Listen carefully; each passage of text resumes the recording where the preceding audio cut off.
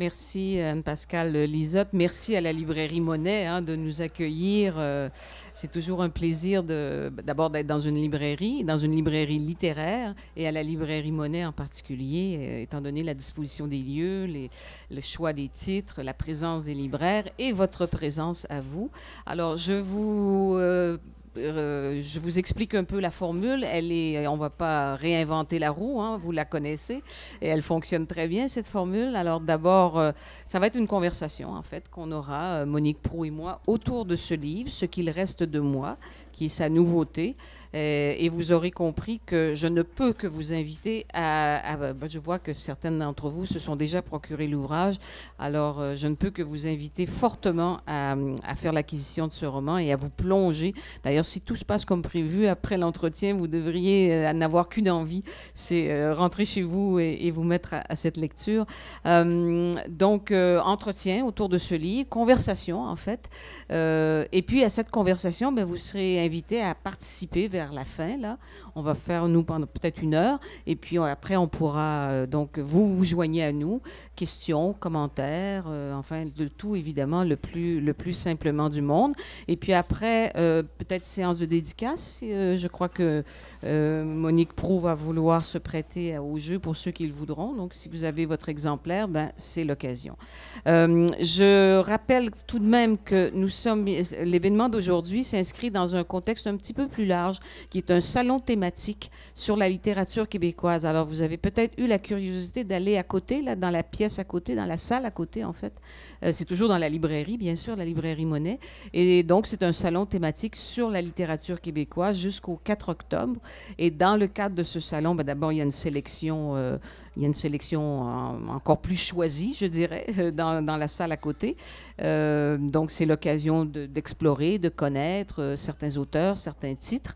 Et puis, il y a une série d'événements et la rencontre de cet après-midi ben, s'inscrit dans ce cadre. Alors, euh, c'est bon, on y va.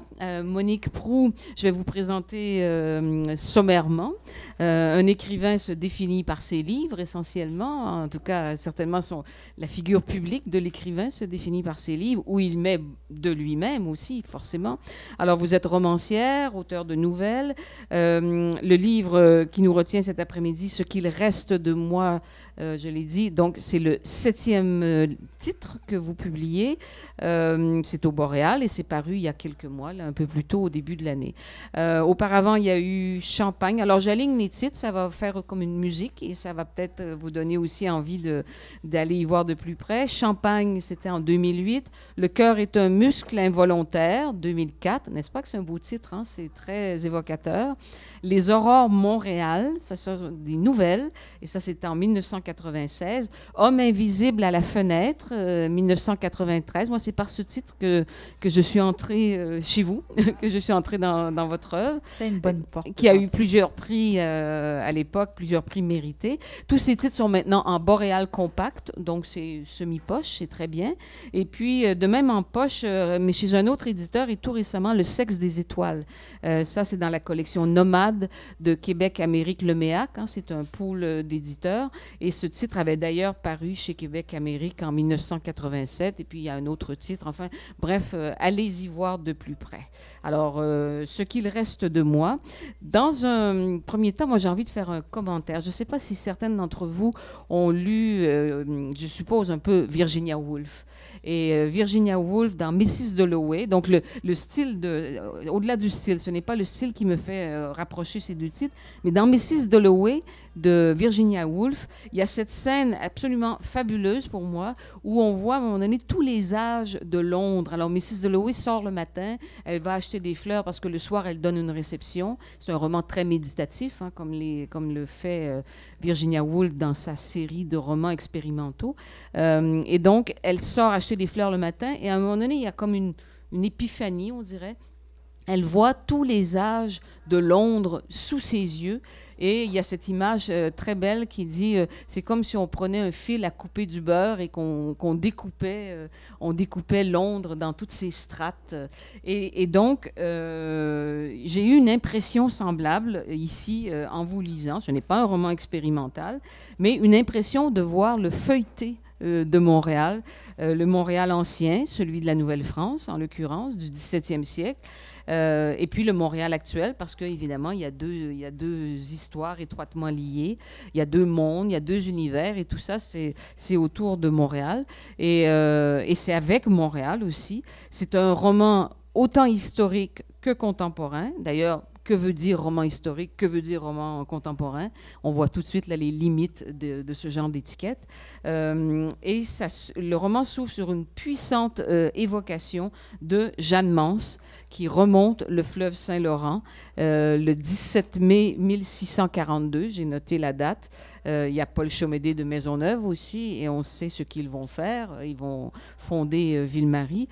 Cette femme est, fascinante, Jeanne Mance, n'est-ce pas, Monique Qu'est-ce qui vous plaît chez elle? Elle est assez rugueuse aussi, Jeanne Mance. C'est ce qui, c'est ce qui fait son intérêt, c'est le fait que ce ne soit pas une, une mystique complètement éperdue, fondante. Éthérée. Éthérée, ou sombre. C'était vraiment une femme d'action. C'était une femme. Un tempérament. Une femme très moderne, à dire. J'ai découvert sa, modernité. J'ai découvert que c'était, dans le fond, notre grand-mère, notre arrière-grand-mère, à bien des égards. Euh, j'étais, euh, c'est elle qui m'a euh, précipité dans cette aventure, à vrai dire. Lorsque j'ai découvert que c'était une laïque, ça a été pour moi un, déclencheur incroyable, un allumeur, parce que là, je me suis dit, qu'est-ce qu'une femme jeune, elle avait la trentaine, euh, laïque, qui n'est pas embrigadée, en soutanée dans quelque organisation, qui n'a pas été euh, propulsée par son père, qui n'a pas de mari, qu'est-ce qui peut vraiment euh, diriger un être mm. comme ça à, se rendre dans une contrée complètement hostile, lointaine. Mais c'est un élan mystique aussi. C'est un élan mystique. Il y a, il y a une utopie derrière le projet de Montréal. Euh, c'est même pas une utopie, j'appellerais pas ça une utopie, c'est une euh, c'est un, un, abandon total à quelque chose qui la dépassait. Elle était comme téléguidée. Et elle s'est jamais posé de questions. Pour elle, c'était une assurance qu'il avait. Il fallait aller euh, fonder cette hôpital-là, parce que c'était d'abord fondé un mm. hôpital qui lui importait. Et on, se dit souvent, euh, qu'est-ce que c'est que cette histoire d'hôpital? Pourquoi un hôpital? Mais euh, c'était énorme, la notion d'hôpital, parce qu'il n'y avait pas d'hôpitaux au 17e siècle en France et, nulle part. les gens dignes de ce nom, c'est-à-dire les gens aisés, avaient tous des médecins personnels. Alors, les, les, gens, mm. la, la, plèbe mourait tout simplement. Euh, je veux dire, il n'y avait pas de médecins. Les médecins, euh, on, a l'impression qu'on est euh, souvent dans, une période noire, mais non. Où il y avait peut-être des recettes amérindiennes qu'on essayait de, En France, je ne crois pas. pas de recettes, mais en, en, Amérique, oui, sûrement. Au Canada, il y avait sûrement, il y avait sûrement des choses qui existent. Les, les Amérindiens vivaient quand même pas vieux, vivaient pas vieux. Euh, il ne faut pas idéaliser non, plus. Non, il ne faut pas idéaliser. Il ne faut pas penser qu'ils avaient euh, des, des, décoctions pour tout. je veux dire, de toute façon, euh, ils ne souffraient pas du scorbut, mais ils souffraient de malnutrition, de famine. et de maladies. Donc, elle, c'était un hôpital pour les pauvres. Les, pauvres, donc, c'était les, les, sauvages. Évidemment, lorsqu'on lit tous ces commentaires au sujet de la fondation de Ville-Marie, euh, si on est un peu puriste, on peut avoir les, oreilles échaudées parce qu'on parle de sauvage. Mais c'est les termes de l'époque, ça. C'est les termes de l'époque, mais il y avait aussi une attitude, il y avait aussi une attitude qui allait avec ça, qui était que ces gens-là avaient besoin de tout. Euh, mais elle a découvert sur place qu'ils euh, n'avaient aucune misère psychologique. Et là, c'était pour elle énorme de découvrir que ils avaient peut-être une misère matérielle, mais ils ne connaissaient pas euh, l'envie, la jalousie, l'ambition, euh, qui sont, comme on sait, de grands malheurs. Tout ce qui agitait euh, les Européens, et, pas seulement les Européens. Oui, aussi. Qui, nous agite toujours, d'ailleurs. Oui, qui nous, oui, de ce point de vue, on, va voir dans le roman qu'on on, s'agite aussi encore maintenant. Alors, justement, le Montréal contemporain, on va rimer l'histoire, le, volet, le volet contemporain. Il y a une vieille grand-mère 80 ans, qui meurt au début du roman. J'arrive pas à la voir comme une vieille grand-mère, Françoise Bouchard. Pour moi, mais c'est parce que là, j'ai dit à un moment, c'est une femme, c'est une femme sans âge, intemporelle, très forte. Euh, et qui, qui, qui s'adonne à avoir 80 ans, comme on va tous l'avoir, à moins de mourir avant. Euh, et, qui se trouve être grand-mère. Qui est dans la force de l'âge. D'ailleurs, ça commence comme ça. Comment est-ce que quelqu'un qui est fort peut arrêter d'être fort? Ça, donc, c'est une force de la nature qui soudain est abattue. Ouais. Et elle est, on se dit qu'elle est aussi euh, ardente, aussi énergique, aussi entière, parce qu'on va découvrir peu à peu ce- par euh, toutes sortes d'allusions ou de par petites touches, on va son portrait là, on va on va on va la connaître. Euh, elle est aussi, aussi entière que Jeanne. Et Il y avait un rapprochement dans votre esprit entre les deux femmes? C'est une espèce de mécréante en même temps. hein. Elle, elle Oui. est pas, elle est pas Ouais, c'est là que les routes se séparent. Oui, c'est-à-dire que c'est un personnage, pour ne rien vous cacher, qui ressemble beaucoup à ma mère. C'est un personnage que je me suis fortement inspirée de ma mère. Euh, ces espèces de mères courage qui ont euh, soulevé des montagnes, euh, qui ont fait avec rien, euh, et qui avaient toutes sortes de défauts, qui avaient les, revers de leur grandeur, qui avaient des côtés mesquins, comme par exemple, quelqu'un m'a dit vraiment, le, le chapeau de Marcus a quand même a, tu sais, a réussi à l'avoir seulement pour 1000 dollars, être un peu âpre au gain. Marqué, c'est le Marcus, c'est le jeune acide. Le jeune, le jeune acide, c'est ça. Qui va. Euh, et je veux dire, on sent qu'elle était, la façon, le portrait qu'en qu'en dresse sa fille, Gabi, n'est pas un portrait complètement rose. On voit la mère perle, on voit que c'est une femme qui était âpre, qui pouvait être méchante aussi, elle le Ouais. dit carrément. elle. Donc, c'est pas tout à fait Jeanne Mance, c'est pas comme ça on Non. imagine Jeanne Mance, mais c'est une figure de femme Forte. forte, ouais. euh, qui a hérité, comme nous, dans nos meilleurs euh, Moments. moments ou, ou parois de, de Jeanne Mance. Euh, il y a d'autres personnages, on va juste en passer quelques-uns en revue parmi les principaux. Euh, le petit-fils de Françoise Bouchard, de cette Françoise Bouchard, il s'appelle Laurel. C'est un aspirant écrivain, donc petit-fils, aspirant écrivain doué, euh, qui avait avec sa, sa grand-mère, parce que là, il faut bien parler d'une grand-mère, Oui, des, oui, oui. des liens privilégiés. C'était son chouchou. Oui, et à un moment donné, il a cette conviction, euh, ça apparaît page 60, que tout est connecté euh, et que derrière le disparate de la réalité, finalement, il y a des liens qu'on ne voit pas toujours, mais qui tout à coup se deviennent manifestes. Euh, C'est aussi euh, ce que veut illustrer le roman, que tout est connecté. Ah, ça y est, les questions un peu difficiles commencent. Non, c'est bien, c'est très bien. Allons, allons dans, ces, dans ces eaux, non pas troubles, mais- profondes. Exégétique. profondes. Euh, oui, absolument. C'est, pour moi, c'est un, un livre qui parle de, Dieu, entre guillemets. Et, dès le départ, c'était très clair pour moi. Mais c'est pas le Dieu euh, qui a été gaspillé par les religions, euh, beaucoup de formes de religion. Mais j'avais vraiment envie de parler de l'essence de la nature humaine, de l'essence de toutes les quêtes. Et je me suis dit, bon, allons-y donc. Euh, J'ai d'ailleurs commencé, avant même de, lire sur Jeanne Mance, j'ai commencé à lire sur les grandes religions théistes pour essayer de comprendre où est-ce que le judaïsme, l'islam, le christianisme s'étaient séparés, où est-ce qu'ils s'étaient rencontrés, et quelle était la base de tout ça, parce que les religions ont accaparé le nom de Dieu, mais je me suis aperçue que Dieu n'appartenait pas seulement aux religions. Et donc, c'est un livre c'est un livre qui parle de Dieu et c'est très amusant parce que j'ai fait récemment une entrevue euh, avec un Français. En France, le mot Dieu est complètement tabou. Alors quand j'ai voulu, euh, quand j'ai voulu partir cette conversation-là, j'ai senti un malaise épouvantable. Et je me suis dit, mais pourquoi ce serait tabou de, d'essayer de voir euh, au-delà? C'est pas possible qu'on soit juste ce petit paquet de mécanismes. Et, c'est un livre exploratoire dans ce sens-là. Donc, Laurel, pour en revenir à Laurel, euh, qui, euh, qui est un mystique aussi à sa façon. C'est un Mm. jeune mystique. Et comme les jeunes qui sont empreints de cette espèce de, de désir, de, de- de désir de trouver qui suis-je, c'est ça, c'est Mm, la question fondamentale. C'est pas seulement les mystiques, les philosophes euh, qui, étaient des mystiques. Je veux dire, les- dans le temps des Grecs, la religion et philosophie, c'était, il n'y avait pas de séparation. Il y avait la métaphysique aussi. Exactement, Ouais, c'était ouais. donc l'essence des choses, c'était d'aller à la, à la- à la source de tout. Qui suis-je?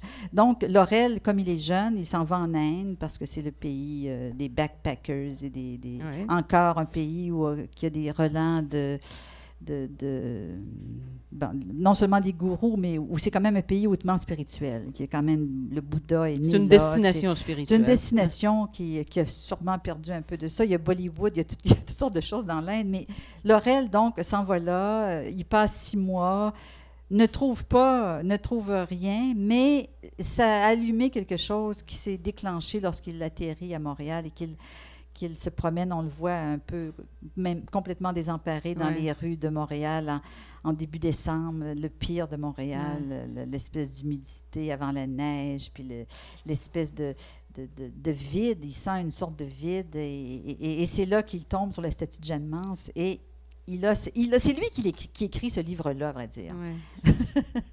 Oui, euh, oui on, peut, on, peut, on peut dire ça, oui. Le, et, le, parlons du jeune Marcus. Alors, lui, il va être en rupture avec sa communauté des Hassidim, donc des euh, juifs euh, ultra-orthodoxes d'Outremont. À un moment donné, il va, il va vouloir en sortir. il va quitter sa communauté. Il va, voir, il va vouloir se frotter à Montréal, on va dire, hors des limites, des règles fixées par la communauté. comment Montréal, comment la ville peut-elle apparaître à ce jeune homme euh, qui a été euh, protégé, on va dire, qui a vécu en, milieu clos pendant toutes ces années? J'imagine que ça doit être un choc terrible. Euh, c'est-à-dire qu'il y a quelque chose d'extrêmement attirant dans un territoire où la liberté semble totale, mais il y a une, une perte de points de repère terrible. Et c'est aussi quelqu'un d'intègre. Donc, intègre et qui a intégré aussi les, je dirais, l'humanisme profond de sa communauté. Donc, euh, c'est pour ça que c'est pas étonnant si on le retrouve plus tard avec les sans-abri, aidant les sans-abri. Disons que euh, il y a une sorte de... C'est dans le droit fil. De, La solidarité est vraiment une, vertu euh, judaïque profonde. Euh, Mais vous avez eu du mal à vous, ou pas, à vous plonger dans, cette, euh, dans cet état d'esprit qui devait être le sien pour rendre compte de ce Montréal euh, qui, tel qu'il le voit? La difficulté est toujours la même. C'est-à-dire au début, que ce soit de parler toutes ces expériences-là qui sont complètement étrangères, euh, nous sommes étrangères dans leur euh, factuel, dans leurs détails, dans leur forme. Alors, il faut d'abord euh, s'approprier les formes. Il faut apprivoiser les formes. Donc, recherche, recherche, recherche. J'habite à côté de la communauté acidique, donc je les toise, je les regarde depuis longtemps, je, je les croise. je les croise. Je, ils m'irritent. et je veux dire, j'ai passé par tous les états d'âme avec eux. Et en même temps, ils m'ont toujours fascinée. Je me souviens de cette image qui est une image fondatrice. Pour moi, c'est, je me souviens, il y avait une espèce, il y avait un grand party sur la rue Saint-Viateur dans le Myland où j'habite. J'habite pas sur rue Saint-Viateur, mais j'habite dans le Myland. Et c'est vraiment leur, leur haut lieu. Il y a beaucoup, c'est la communauté civique qui est installée là. Et la, rue était complètement en fête avec euh, des gens, euh, des gens qui buvaient, il y avait des bars, il y avait des, amuseurs publics. Euh, et il y avait ce petit homme, ce petit homme, parce qu'il était court, cet acide qui, était avec, qui essayait de traverser la rue, mais sans buter sur personne, surtout pas des femmes d'ailleurs, et qui et je veux dire, il y avait une espèce de détresse à traverser la rue, à trouver sa place. Et je le regardais avec ses livres euh, sous le bras et je voyais vraiment l'univers complètement parallèle dans lequel il vivait. Et là, j'avoue que je me suis dit, ah, que c'est intéressant, ces deux univers qui se côtoient sans se connaître du tout. On ne voit que ce qui nous, ce qui nous irrite, ce qui nous agace, mais qu'est-ce que c'est ce fondement-là? Pourquoi est-ce qu'on donne sa vie à, à, la fois acide? Parce que c'est, je veux dire, c'est incroyablement exigeant d'être un. ça veut dire pieux. Hein, oui, mais ça veut dire pieux, mais ça, veut dire. Euh, ça veut dire euh, vivre comme au Moyen Âge euh, et, ça, veut dire obéir à 643, c'est peut-être plus ça. J'ai commencé à avoir de mémoire. Les préceptes, les préceptes, du judaïsme tous les gestes de la vie courante sont codifiés. Alors, tu te réveilles le matin, tu dois poser ton pied droit avant le pied gauche ou le contraire. D'abord te laver. Euh, tout est codifié. Tout est, tout, est codifié. Et euh, plus tard, sa mère, que l'on voit, nous explique la grandeur de, ces codes-là. Alors, je ne veux pas aller euh, outrepasser le. Mais, mais, disons que c'est un univers extrêmement riche qui ne m'a pas donné envie d'y appartenir, rassurez-vous, parce qu'il a des gens qui m'ont dit Bon, tu les aimes tellement, là, tu non, pas du tout, mais il y a une richesse dans cette texture-là. Il, y a vraiment quelque chose, un univers extrêmement. Euh, passionnant, passionnant. Euh, si on fait le lien avec Jeanne Mance, vous l'avez dit tout à l'heure, euh, c'était, on peut dire que chez elle, c'est un mysticisme de l'action hein, qui, est à l'œuvre. Est-ce que peut-on penser qu'il y a une part de son héritage qui est à l'œuvre, d'une certaine façon, chez ces deux jeunes gens, avec des voix très différentes, Laurel et Marcus? Oui, oui. Mysticisme de l'action. Oui, absolument. Absolument. tous les personnages ont, euh, ont quelque chose à voir avec Jeanne Mance à leur façon. Ils ont tous, euh, même si je les ai pas téléguidés de façon aussi robotique. Ça s'est comme inscrit comme ça. Il y avait toujours euh, chacun que je mettais en scène, que ce soit le père Guillaume ou Virginie Hébert, était était comme embrasé par quelque chose. Le père Guillaume, même Gabi qui, est, embrasé aussi par quelque chose. Soit un manque, soit un, désir très fort, une soif, une soif. Dans le fond, c'est la soif que, que Jeanne Mance a peut-être laissé, ce qu'elle a laissé de mieux, je dirais, au Montréalais, c'est une espèce de soif. Et est-ce que vous diriez que l'époque, oui, parlant de soif, est-ce que vous diriez que l'époque, euh, soif spirituelle ou soif de sens, au fond. soif de sens. Soif de sens. Est-ce que vous diriez que l'époque présente ne peut pas euh, euh, assouvir cette soif, ne donne pas aux gens, parce qu'en tout cas, si on regarde les personnages, il y a des trajectoires, ils cherchent, on a parlé tout à l'heure de qu'ils sont désorientés, euh, c'est l'époque présente. Au fond, Jeanne Mance, elle savait ce qu'elle voulait et elle avait un cadre très précis. Les personnages contemporains n'ont pas ce cadre-là, en tout cas pour plusieurs d'entre eux c'est sûr que euh, pendant longtemps, la religion catholique a semblé euh, rassembler, ces, euh, fournir un cadre. Mais je suis pas sûre que c'était complètement intégré. je regrette pas du tout la, période de, Bien sûr christianisme. Que non, Il y a eu des périodes où ça semblait, où la quête de sens semblait, comment dire avoir une destination très plus précise. Alors, je pense par exemple au nationalisme. Le nationalisme était un visage de la quête de sens. Le féminisme en a été un aussi très fort. Canalisait donc. Le communisme, tu sais, euh, toutes ces espèces de mouvements sociaux qui désiraient soudain euh, ramasser les énergies vives et les diriger dans une direction, c'était toujours quand même des voies, euh, des voies de, traverse. C'était jamais je trouve qu'on est dans une époque qui semble perdue, mais pour moi est beaucoup plus riche parce qu'on est ramené, au lieu de se perdre dans des, des recherches euh, qui sont des distractions, tu es, si tu es vraiment sérieux dans ce, désir de, te connaître, de savoir qui tu es, tu n'as pas le choix de plonger à l'intérieur.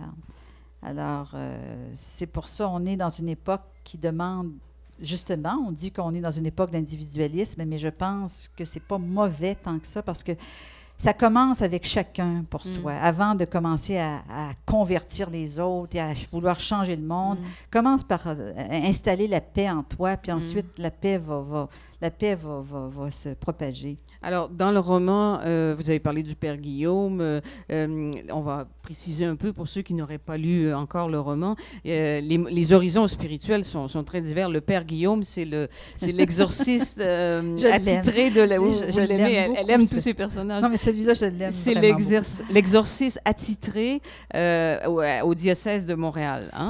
Ça, c'est quand même quelque chose, parce qu'il faut. Et ça, c'est vrai. Il Et ça, c'est vrai, mais il ne s'appelle pas comme ça. Non, mais il y a, il y a, un exorciste. Il y a un exorciste qui a été nommé par l'évêque et qui, euh, qui officie à Montréal. D'ailleurs, il, y a des, il y a des exorcistes dans toutes les villes importantes. J'ai essayé de dire ça en France à propos de à Paris, puis là, c'est tombé comme dans un, une faille spatio-temporelle. Ah une faille complète. Là, il était pas question d'évoquer ça ou de penser que ça peut exister alors que je sais que ça existe.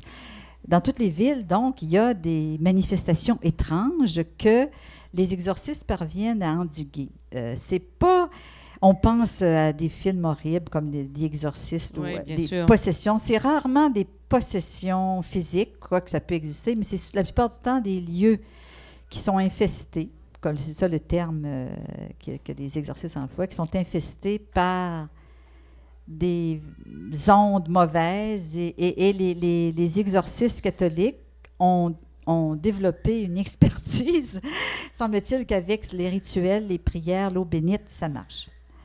Donc, euh, moi, moi j'ai vraiment rencontré un, un, jeune homme qui était, en fait, c'était comme un cadeau, ça, cette histoire-là. J'ai rencontré à un moment donné dans un party, euh, tout ce qu'il y a de béotien, euh, euh, un party de scénaristes, un, scénariste de mes amis qui, logeait à Montréal chez un de ses amis, puis il me disait Oh là là, tu sais pas quoi, mon ami il y a des petites chandelles partout, puis des vases d'eau. Puis quand je suis arrivée, j'ai demandé qu'est-ce que c'est que c'est ça. Et il n'a pas voulu m'en parler tout de suite, mais écoute, il était, son appartement a été infesté, hanté pendant un an, puis il vient juste, ça vient juste de, se, de s'arranger. Ça fait, ça fait deux mois qu'il n'y a plus d'apparition d'aucune sorte, mais euh, euh, il a fallu qu'il fasse venir un prêtre exorciste. Mais vous, Monique Pro, êtes-vous une romancière rationnelle ou est-ce que vous flirtez avec l'irrationnel ou est-ce que vous êtes intriguée par l'irrationnel? Comment vous situez-vous par rapport à ces manifestations? Je ne pense pas qu'un écrivain peut euh,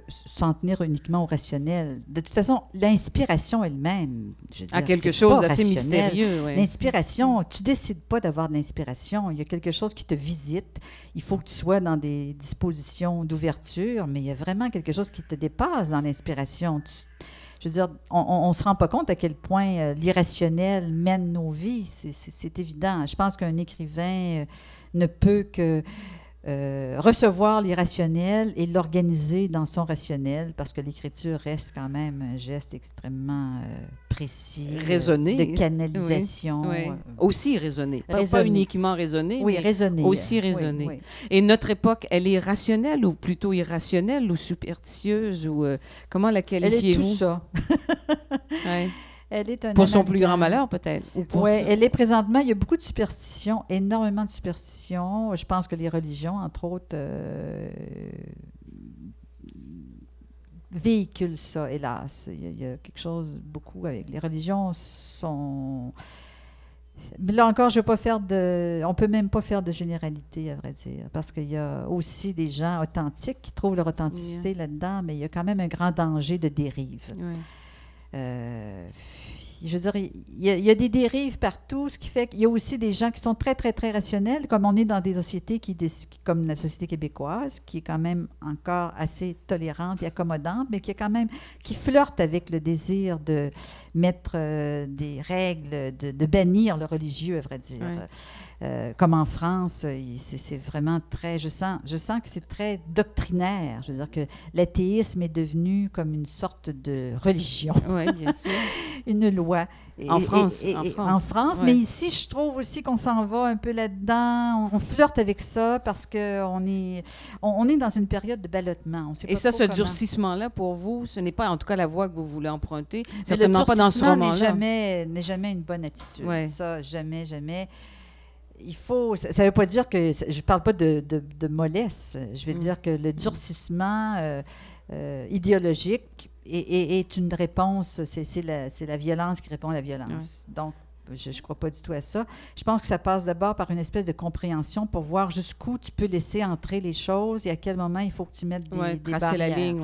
je pense qu'il ne faut pas que ça se fasse avec une émotion primaire. Ça, c'est évident. Aussitôt que, que des, des, gens qui essaient de, de, faire lever les émotions primaires chez les gens, puis ça ne donne jamais des bons résultats.